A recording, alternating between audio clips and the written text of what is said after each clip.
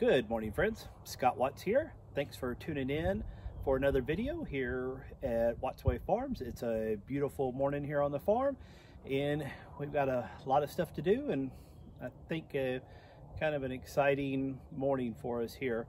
Uh, today's video is going to be kind of a tell and show and demonstrate uh, video. We made my wife and I, after months of discussion and debate and contemplation, we made what I consider is a pretty significant purchase for us here at the farm. We uh, broke down and purchased a full-on cattle squeeze chute, and I'm going to show it to you here in just a second. And we probably started talking about the need of a squeeze chute or not a need of a squeeze chute probably since before we got the uh, before we got our first cows last July. And you know, and I still don't not 100% sure we made the right decision, but I think that we did. You know, new to cattle, not a lot of experience uh, with cattle. I wanted to do everything we could to ensure that not only we doing a good job treating these animals well, creating a you know a thriving life for them, as treating them as humanely as possible, but I also wanted to make sure that when my wife and I uh, are working these cattle, um, that we're as safe and the cattle's are as safe as possible. And we watched for several months, you know, the various YouTube videos, the folks that don't do any sort of squeeze chute, and to those, I mean, Pete at just a few acres uh, with his head gate type setup was what I was leaning to for quite a while. But at the end of the day, I just decided that I wanted to be able to fully restrain um, my cattle. And the one difference in what I plan on doing versus what Pete does is he, when he has a bull calf born on his farm, he captures it and castrates it within 24 hours. I'm going to kind of go a different route there. And, you know, and I'm not saying one's right or the other. I mean, heck, I've, I haven't been doing this a year yet, so I'm definitely no position to say what's better or not.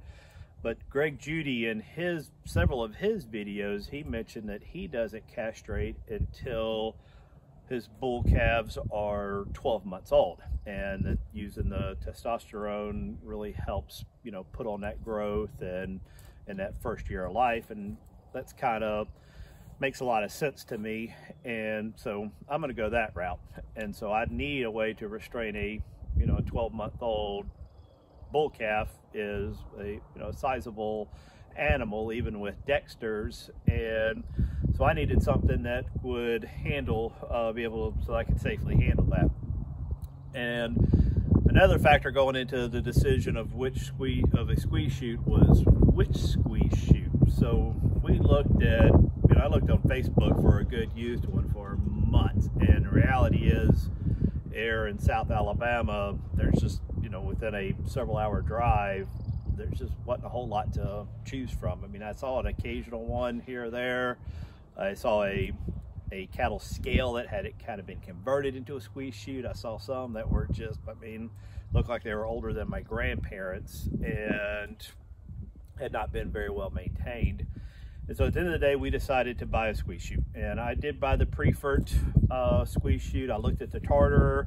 I looked at uh, the Arrow. I looked, there's a local guy a few hours from here that makes his own. I looked at those and went, you know, internally struggled uh, on exactly which one to buy for, you know, for many months, like I said. And at the end of the day, we went with the Priefert because it's just got a, I mean, man, it's such a good reputation. And when we bought back in, I guess it was late October, early November, I bought those two steer to grow out and then that cow calf pair that I've, you know, the, the cow is going to become a cull cow and then the, the bull calf is going to be castrated and steered out as well.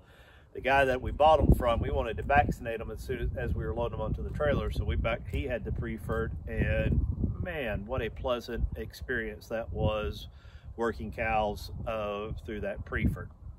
And so then we decided, you know, Priefert definitely wasn't the cheapest, but I do think it also wasn't the most expensive, but I do think all in all it was a good quality purchase. And then the next decision was which model of Priefert we should buy. You had the S01, which is their kind of their low-end model, um, significantly cheaper than their S04, which was probably their, their mid-grade one before you start getting into hydraulics and all that. And for the longest time, I was leaning towards the S01. But then I started thinking back to some of my purchases over the last few years as we built up and got to this farm. So I had purchased a, you know, a, a, a Chevrolet 2500 truck to pull, you know, the trailer with my side-by-side -side and the tractor when it goes to shop and our fifth wheel RV that we've got. And it didn't take long. It was actually the fifth wheel RV that made me realize I probably should have shaved a little bit more and got a bigger truck. You know, I bought my tractor. I mentioned it in a previous video when I was trying to unload pig feed. You know, the tractor I felt was my first tractor I've ever owned. It was a John Deere 4105. And and it seemed like a really big tractor from having never had a tractor to going to standing and walking around this uh, December a year ago. That seemed like a, a really big tractor to me. But now, a year and a couple months later, I realized I probably should have saved a little bit more and gotten a big, bigger tractor. Um, you know, heck, even my chainsaw this morning, I was out cutting some uh, trees in the back in the back part of our land, getting ready to do a new pig paddock to move the pigs. And I had the same thought there. I mean, that's just a Husqvarna. I think it's like the 435 or 405. I forget, 4, 4 something model. And even that one, I mean, a good chainsaw, but for cutting trees. I wish I had gone a little bit bigger. So it seemed to be a recurring theme there. My desire for, you know, again, I buy John Deere, I buy Husqvarna, I bought Priefert, I bought Chevrolet. I mean, I, I don't mind spending a little bit extra on the on a on a good name and product, but it seems like I may be overbalancing my frugalness to try to save a few bucks and then wishing I had not done so. So we went ahead that and though it was a big jump up about a thousand bucks more, I went ahead and went with the S04 model knowing that um, most likely if I got the smaller model down the road, I was gonna wish I had a uh, the bigger one. And really the big difference, what I found from my extensive research between the S01 and the S04 was the size the S04 is a little bit bigger, and though I do run Dexter cattle, uh, which are smaller, I may not run those forever. I may eventually decide to get into a bigger commercial breed. You know, my hope is that eventually this 80 acres turns into more than 80 acres, and then, you know, and it may take seven years, it may take 10 years, but I really do hope that I can, you know, leave the daytime job and do this type of, you know, uh, farming full time. So, so I went with the bigger one. And then the other reason with the bigger one, and I think is kind of related to why you just don't see a lot of these for sale. Uh, I really do think that a squeeze chute, if you take care of it, and, and I tend to do that, is a truly is a generational purchase. I mean, when we purchased this 80 this 80 acres, we bought it with every intention of passing it off to our kids. And, and what, eventually here, probably pretty soon, I'm gonna do a video and introduce you to our kids. We have a total of five kids. They range from four years old to 24 years old. So we've got a, a broad, a very, you know, broad spectrum age of children there. And our hope is that, you know, the, especially with the younger ones growing up here on the farm with us, they're going to grow to love this as much as we already do and and then want to continue and that this land will stay in the family forever or for you know at least many generations. And I honestly think with a squeeze chute as much as land is a generational purchase I honestly think a, a squeeze chute as well. So I figured so I'm not only buying it for my my use I'm buying it for hopefully my kids use many years down the road when they when they take this over. So I'm going to go ahead and give you a, kind of an overview, a quick overview of the chute, but that's not the purpose of today's video. Today's video, I bought the, they call it a wheel kit. Uh, it's kind of a trailer attachment so that you can hook the squeeze chute up and move it around. And the thought is until I know exactly where I want to set it up, um, I'm going to need that. Plus, I don't want to leave it outside exposed to elements. Like I said, I'd, I want to take care of it. So even if it's a little bit of work to hook it up and wheel it into the barn, but I hope to have in a few here, having a few months. Um, to me, it's worth it. And the other part, there is a right now. My my thought is that I'm never going to have like a permanent corral working pen type system. I'm going to do a um, more of a temporary setup. So when I need to work the cattle for whatever reason, I can, you know, wheel out the panels, wheel out the, the squeeze chute, do the work, and then put it back up. So we'll see that. And then the final thing I want to mention is about where I purchased this from. You know, I have, I'm, I'm obviously, you can tell by my number of views subscribed, I'm a very new YouTuber. I get no sort of sponsorship, monetization, anything. but I think it is worth mentioning. Now, I bought this from National Roper Supply out of Texas, and sales guy's name's Ryan. I'm going to put a link to their site uh, in the description. And if you're looking for something like this, I can't recommend Ryan enough. I mean, never met the guy. We talked on the phone, we exchanged text. I mean, he was super responsive. I tend to ask a bunch of questions and probably also borderline a little bit impatient once I order something as far as getting it. And he bent over backwards to accommodate that. Now, the the I guess the reason I mentioned this, the National Roper Supply is and buying from Texas is the natural question is, Scott, why didn't you buy one local? I'm a huge proponent of buying local, even if it means paying a little bit more. I mean, heck, I'm a trying to make my mark in this, you know, current world as a direct-to-consumer uh, farmer, and so buying local is, you know, what is what I'm asking folks to do. So in this case, why did I not do it myself? And the reason is price. Um, I mean, even though I know like with my farm product, I'm gonna sell it at a little bit of a premium and, but I do believe it's a superior product. I talked to my local co-op, my local farm supply store, the co-op an hour away, and then a farm supply store three hours away. And for this exact same model of, of squeeze chute, it was 800 to $2,000 more expensive and that's shipping and everything. So that's apples to apples. So sales tax, everything notwithstanding, all bottom line to bottom line, it was cheaper for me to buy something from National Roper Supply in Texas, have it shipped via ground freight uh, here in uh, Alabama, than to go to, you know, three hours away or an hour away or my local. I mean, by the tune of like a thousand bucks. I mean, and I'm all for buying local, even if I got to pay a little bit more. But I mean, a thousand dollars. I mean, I just, you know, I, I just can't, um, I can't understand that difference. And even one of the, one of the uh, feed stores or the farm stores about three hours away that I talked to, they literally we we even talked about told him you know this is what I can get it elsewhere. I'd really like to buy local. And I mean and he said his cost for that squeeze chute from the manufacturer was cheaper than what National Roper is selling. So maybe it's a you know National Roper Supplies is such a huge company. Maybe they get volume discounts I don't know, I don't get it, but maybe one day somebody from Priefert will see this video and maybe they can give me a comment as to why that is. So, all right, I've talked enough. Let me show you what I've got and uh, let's get to work.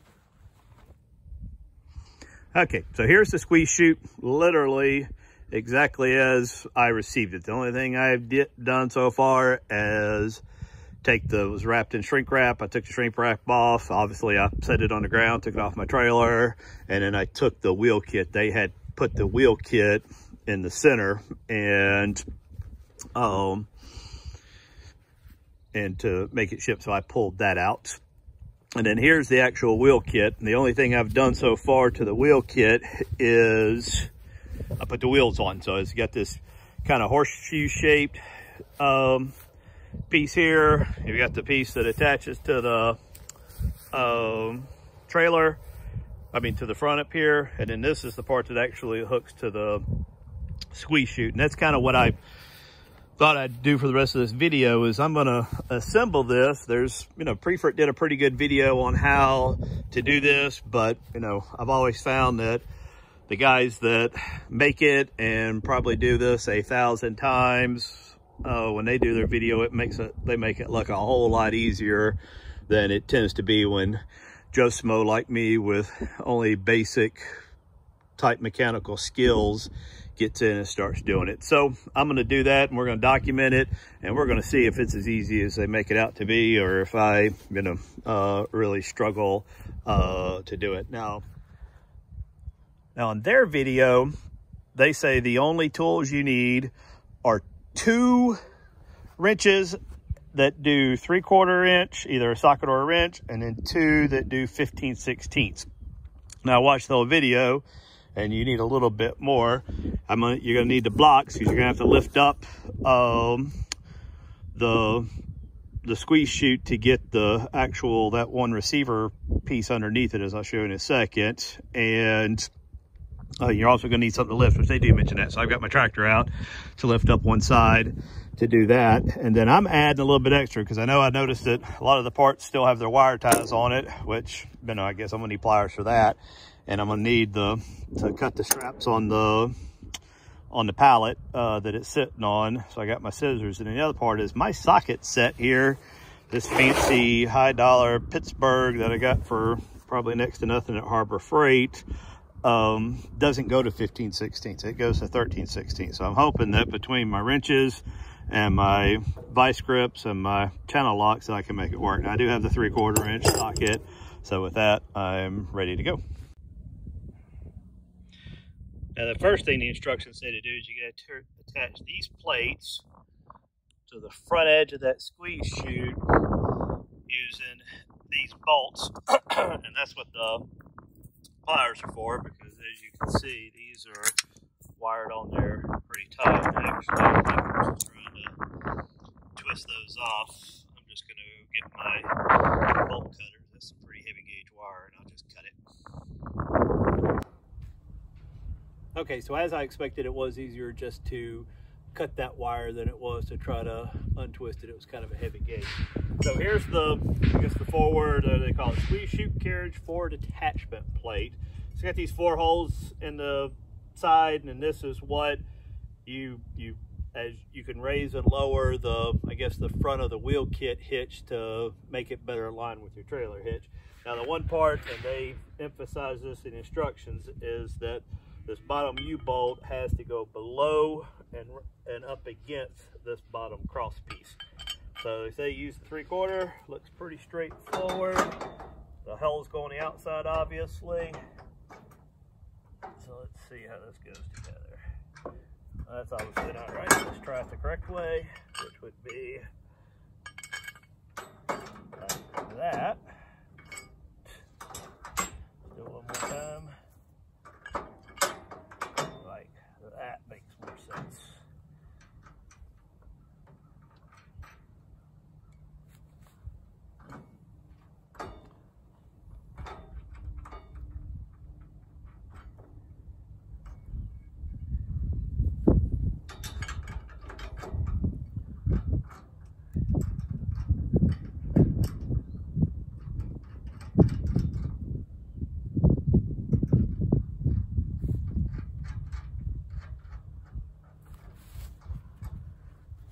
Yeah, so in their instructions, they say you lift up on this so that that is flush with the bottom before tightening.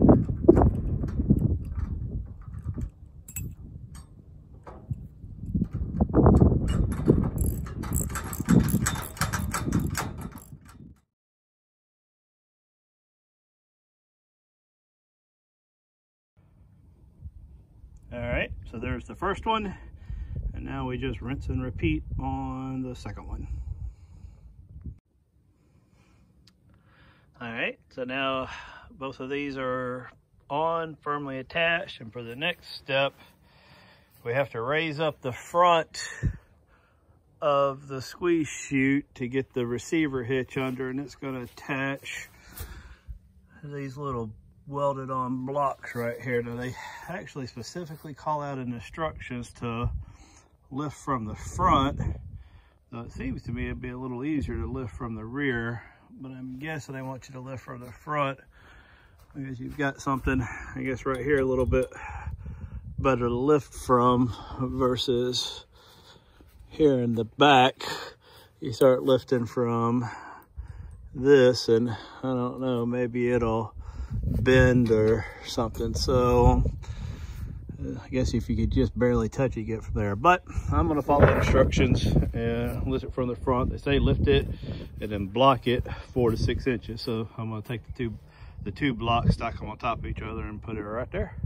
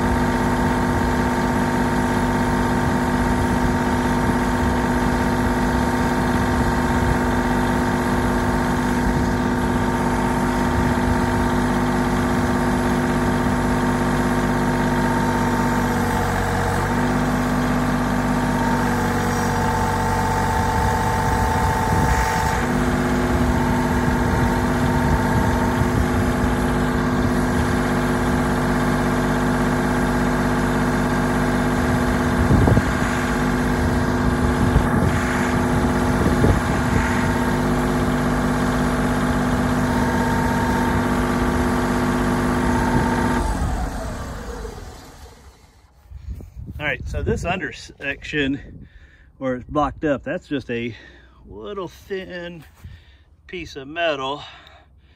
I don't know, I just figured it, I think it's pretty safe. I mean, but I'm gonna, oh, I'm just gonna leave my tractor right there for the time being. It's just a, another, um, just another safety, I guess, to help hold that thing up. I mean, I'm not gonna get underneath it, so there's not much danger of falling and smashing me or nothing, but, uh, but it's got to come down anyway, so might as well leave it there. Okay, for this next part, we turn our attention to the receiver bar. We have to take this thing apart, and that's the 15 16ths that I don't have, so we'll do it with a wrench, and I won't lie, pre-loosened this prior to starting this clip because that thing was super tight. I actually had to kind of get a little forceful with it with a hammer. So anyway, so we take this off this is supposed to slide off and into a few pieces. Oops, I don't want to lose that. A little harder, we're trying to do everything one-handed. All right, so then you got this piece, and as I expected, this piece. Now, is, now that end's welded, and what they say is you insert this underneath, I'll show you in the next clip, uh, from the operator side. Okay, now for this part, it says you gotta be on the operator side, which is easy to tell from the handles. And then this thing just slides under and then hooks on this little welded nut right here. And they said the important thing to remember is have this plate going to the front. So, pretty easy. Okay, so now we're back on the other side and the next step's pretty easy. You take this little plate that was inside here when we took it apart. It sits on top of this little stud here that you kind of sandwich it up into the little slot in the receiver hitch. and then this slides across, slides in here. Again, making sure this plate is placed forward. That goes all the way in. Another tool I didn't say at the beginning, but you need is a hammer to kind of help get that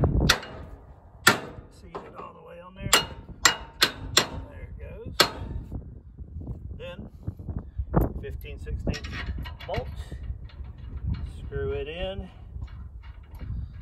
hopefully get hand tight. And then the rest of the way with my wrench.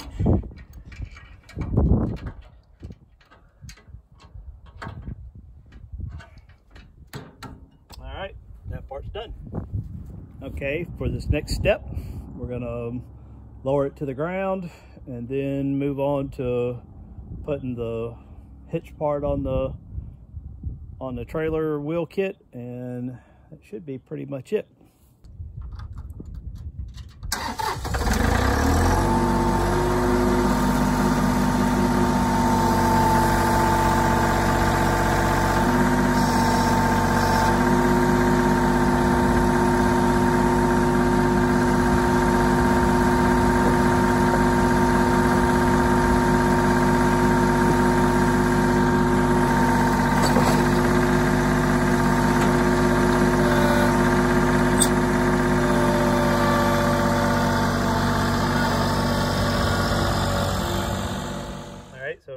back at the front of the, they keep calling it a carriage. I kind of like the word trailer.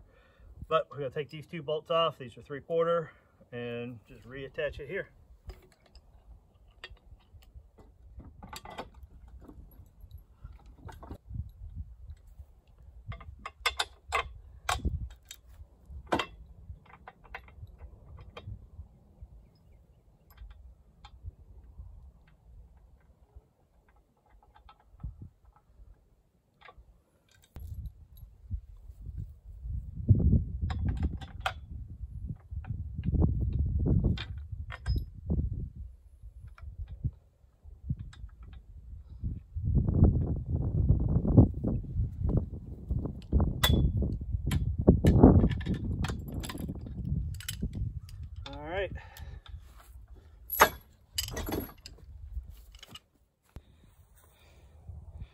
Okay, so this is pretty much assembled as per the instructions. The only final step is to kind of remove these pins from their holes and whatnot so that we can attach it. Now, one thing, it came with this 2x4 bolted in. The instructions don't really say anything about it, but I mean, I guess I don't need to. It's kind of obvious it's not going to work with that on there. I'm assuming that was just some sort of support feature. So I'm gonna take that off and then let's see if we can get this thing on that chute. Okay, so the whole thing's put together and it's supposed to work pretty easy. I just pick it up, slide it in, insert a few pins and it should be done. So uh, this is the first time I'm doing it. I didn't pre-stage it before I started filming. Uh, so we'll see if it's as easy as they make out to be in their instructional video. So it the first thing you do is just pick this up, wheel it back, and then you're supposed to try to align those with that little hole down there.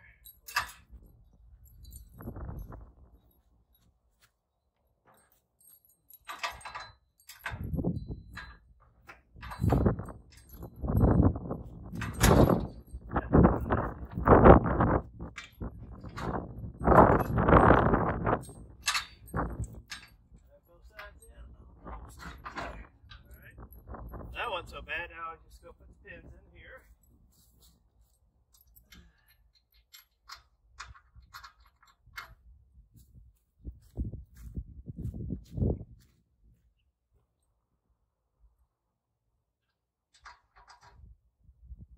Alright, so for this next part, you push down on this until that lines up and with the hole that you want. And it says the higher the hole, higher the trailer hitch uh, height. So since I'll be pulling this with a tractor and I can adjust it up and down, I don't see how it matters as much to me, but let's see how it works.